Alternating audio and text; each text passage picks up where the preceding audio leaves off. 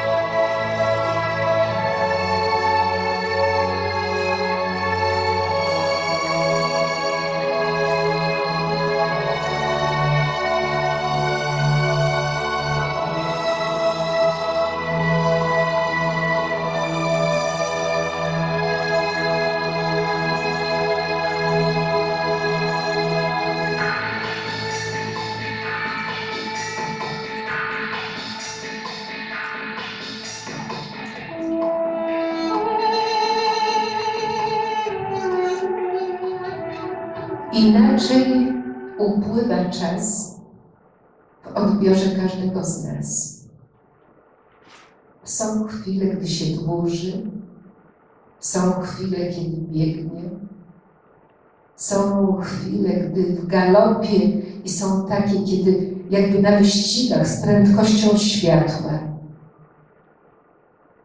Inaczej, gdy na coś czekasz, inaczej, gdy się spieszysz, Inaczej, gdy lekko na duszy i serce porywa radość. Inaczej, gdy ciążą smutki i w sercu przygnębienie. Czas.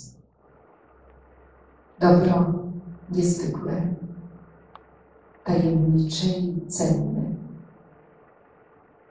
Kiedy już przeminie, nie da się go zawrócić, nie da się go przywołać, by zacząć od nowa.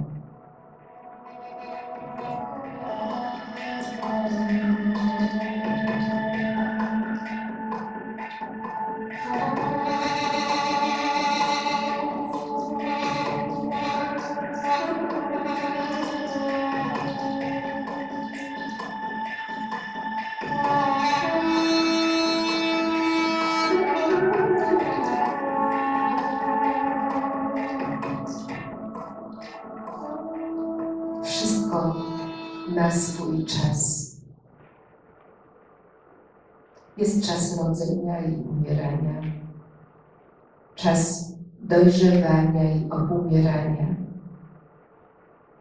czas uczenia i zapominania, czas zbliżania i oddalania,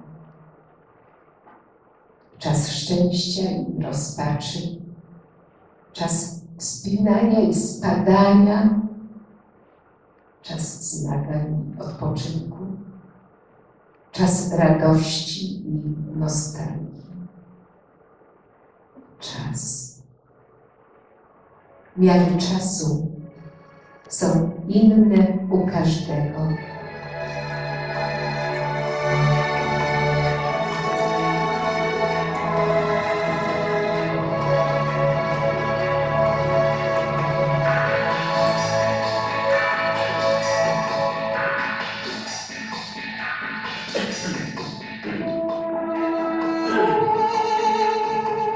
Nasze życie to nie tylko radość oczekiwania i nie tylko piękno spełniania.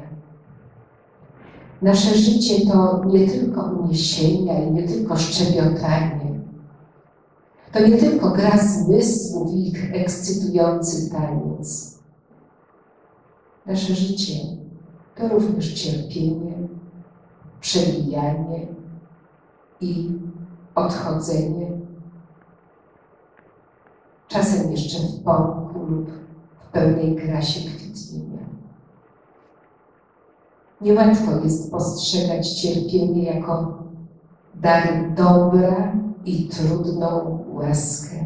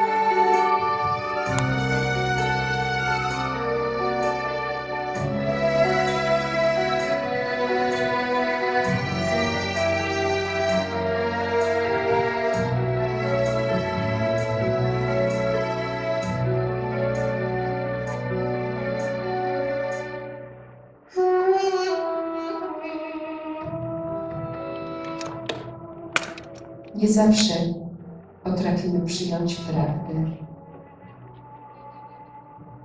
Nie zawsze umiemy się na nią otworzyć. Nie zawsze potrafimy ją rozumieć. Nie zawsze uznajemy ją za ważną w życiu. Nie zawsze potrafimy ją stosować nie zawsze potrafimy kochać. Nie zawsze umiemy zaufać. Nie zawsze. Dlaczego?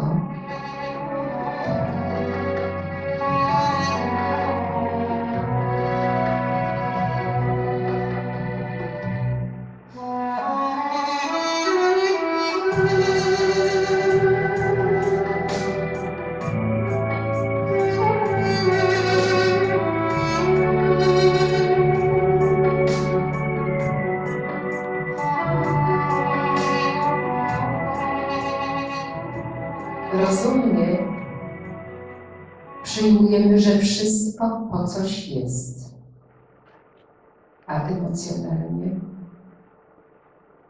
nie dajemy przyzwolenia, nie dopuszczamy niczego, co niszczy nasz misternie utkany, bezpieczny ład. Nagła zmiana w naszym życiu, turbulencje związane z rodzeniem nowego, wprawiają w zakłopotanie, nieporadność, gniew. W pierwszym szeregu staje niezgoda, sprzeciw, bunt, poczucie niesprawiedliwości. Dlaczego ja? Zapominamy, że najczęściej nowe rodzi się w bólach. A od nas samych zależy, jak to nowe przyjmiemy. Ile nabijemy sobie głosów, waląc z bezsilności w nieustępliwy mur.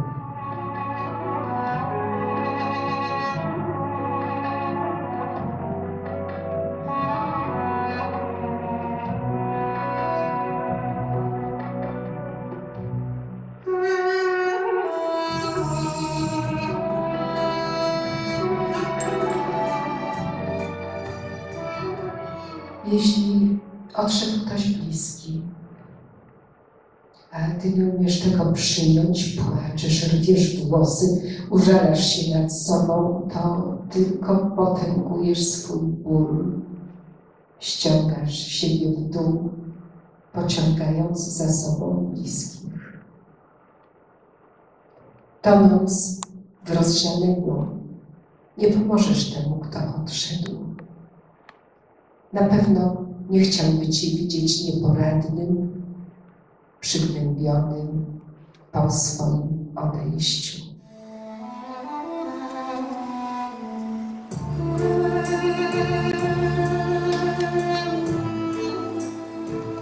Kiedy życie obdarzy nas nadmiernie ciężkim bagażem, nie zostajemy sami zawieszeni w próżni. Przychodzi czas wzbogacania naszej wiedzy o najbliższych. Jedni przytulają nas z miłością, dzieląc się swym ciepłem i dobrym słowem. Inni chowają się za ścianą milczenia i obojętności. Ten czas pozwala widzieć więcej i lepiej. Niezwykłymi prezentami są sny. Ktoś wysyła do nas ożywione postacie, które przebywają choć na chwilę przygnębienie i nostalgię. Pomagają wrócić do życia.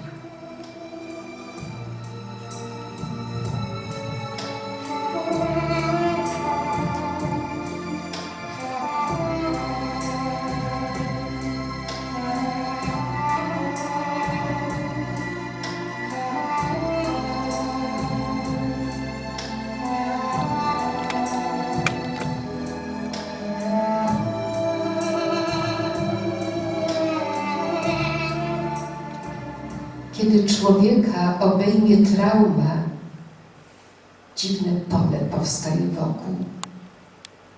Płoszy znajomych, oddala bliskich. Milkną telefony. Nawet po drugiej stronie nie podnoszą słuchawki. Giną spotkania. Świat cichnie. Czyżby zapowiedź narodzin nowego, które rodzi się w bólach?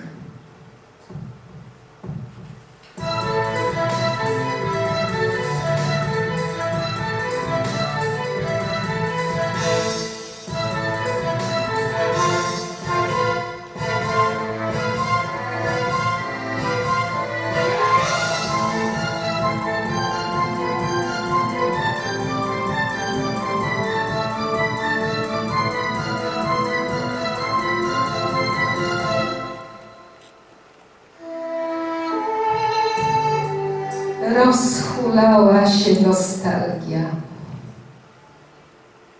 Gardło zwęziło swą średnicę.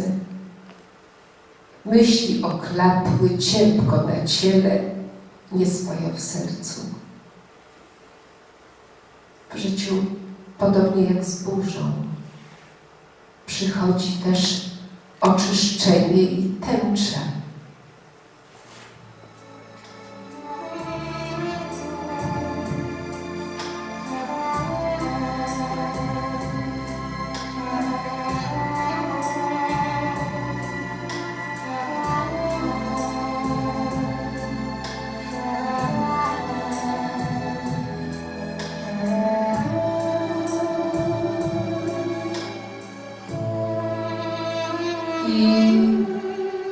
Choć zasępił się świat, zmarkotniał, zaszedł mgłą, rozmył kontury, stracił blask, a niedoświetlony poszarzał, zesmutniał. To nie na zawsze, tylko na chwilę.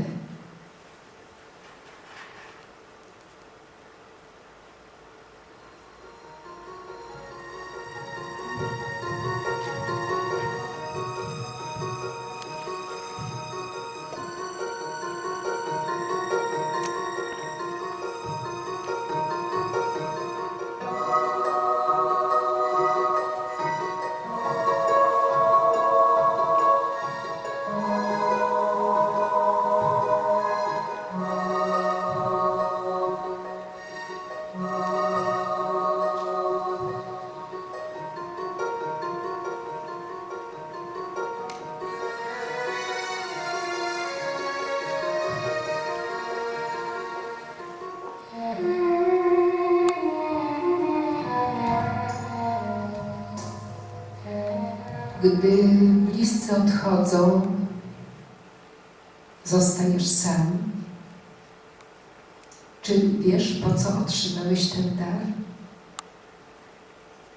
Czy potrafisz go przyjąć, spożytkować i cieszyć się nim? Spróbuj poznać nowy smak życia. Rozsmakuj się i rozkoszuj się nim. To sztuka życia w radości.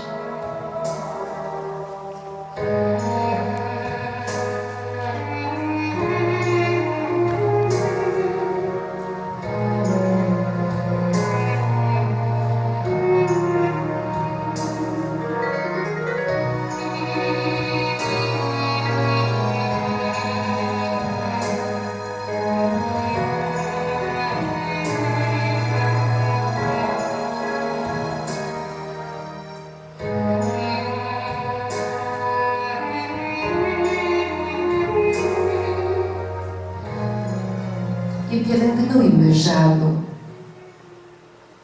W życiu każdego z nas mogło być inaczej niż było. Pielęgnowanie żalu za kimś, kto bezpowrotnie odszedł,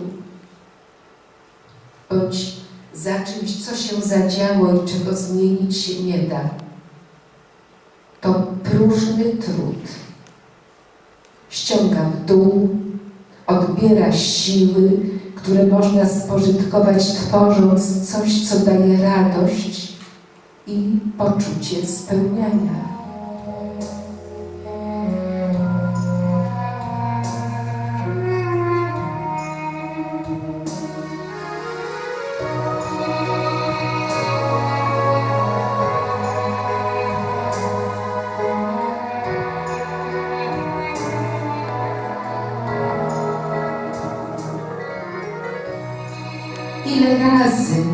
Łapię się na tym, że robię dla Ciebie zdjęcie, by Ci pokazać coś, czego sama bezpośrednio zobaczyć nie możesz, a co Cię ucieszy.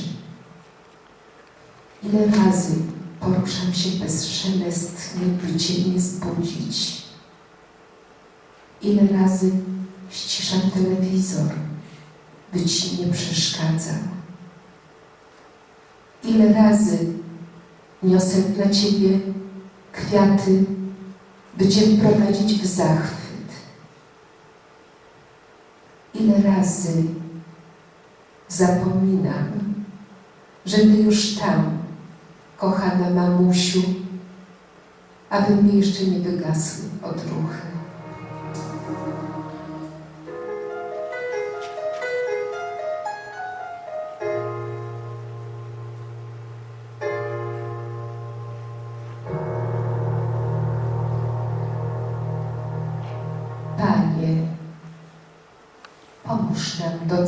To, co mamy, kiedy to mamy, a nie dopiero po jego utracie.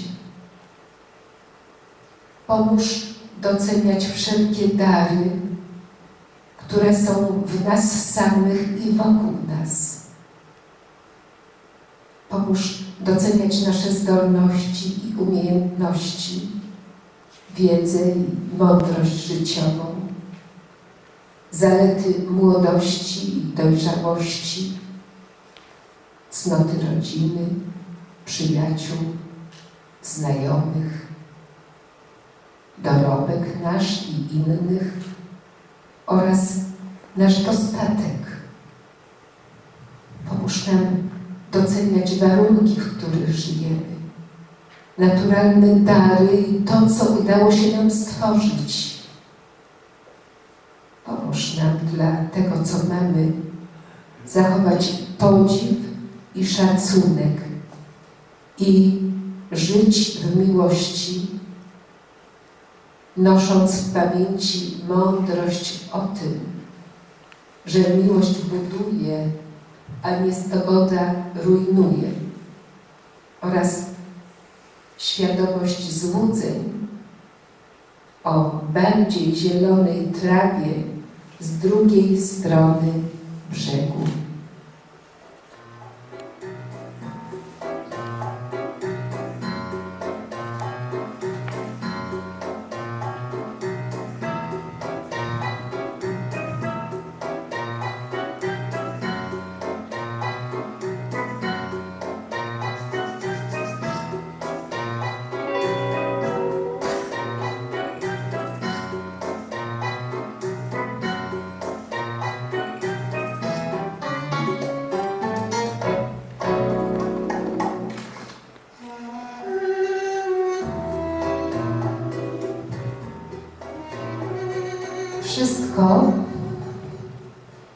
Co w tym życiu jest nam dane, jest potem zabierane. Życie jest nam dane i zabierane. Rodzice są nam dani i zabierani. Małżonkowie są dani i zabierani. Dzieci są dane i zabierane. Młodość jest nam dana i zabierana. I starość, jeśli jest nam dana, jest zabierana. Dobytek, o którym często myślimy, że jesteśmy Jego Panami, też jest z nami związany czasowo. Cała materia ożywiona i nieożywiona i jej zmieniające się atrybuty tylko przejściowo pozwalają się sobą cieszyć. To, co osłonięte tajemnicą, nasz duch rozwija się w relacjach ze wszystkim, co przychodzi i odchodzi. Tylko więzi oparte na subtelnej miłości wzbogacają nasze przejściowe człowieczeństwo i nadają mu sens.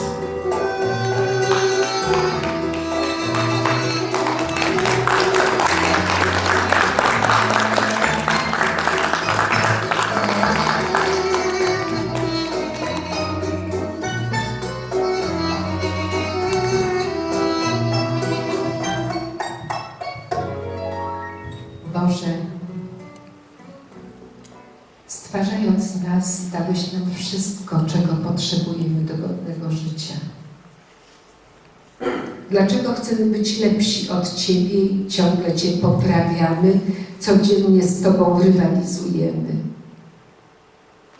Poprawiamy Twoje dzieła, aby się przekonać, że wszystko to marność i bezsensowna pogoń. Ciągle nam źle, ciągle nam mało, ciągle gonimy, zapominając kogo i po co. Przywróć, Panie, zdrowie ciału i światło duszy, bo jakaś przyćmiona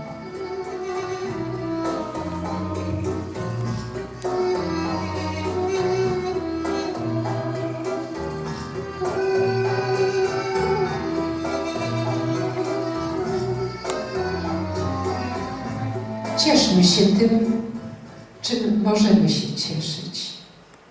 Nie hodujmy i nie rozpylajmy toksyn na skutek porównań z innymi i chorej zazdrości.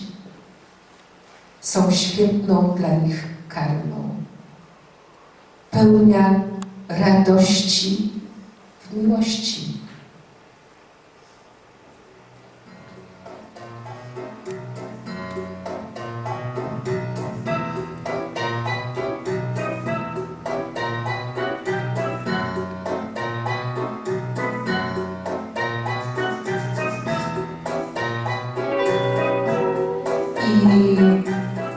Piękna i dobra wokół, często nie zauważanego. W zbyt wielkim zabieganiu trudno je dostrzegać. Czeka przykulone, by przystanąć, podziwiać jej, napełniać siebie radością. Cichych, otwartych, przyjaznych serc też wiele. Trzeba wyciszenia, by je zauważyć i wysupłać ze zgiełku rozkrzyczanego świata.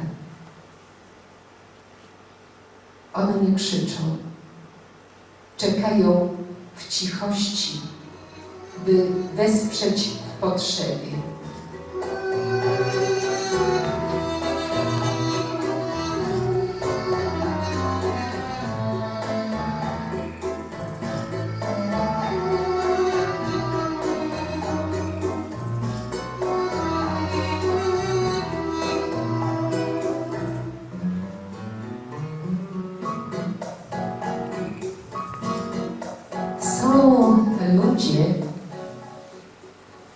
Między którymi rozbrzmiewa niema muzyka,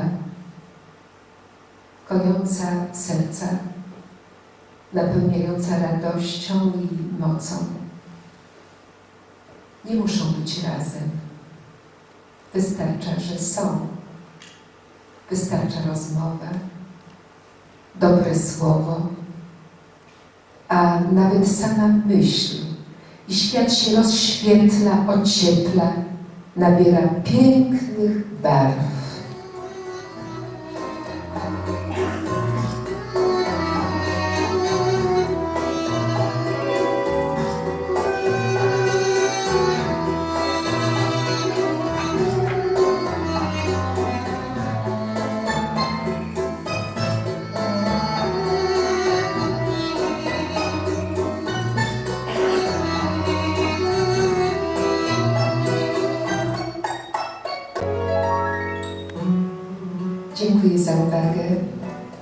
I wysłuchanie przedstawionych utworów. Z całego serca życzę Państwu pięknych, bliskich, budujących więzi z innymi, a w sercach radości, pokoju oraz wszelkiego dobra.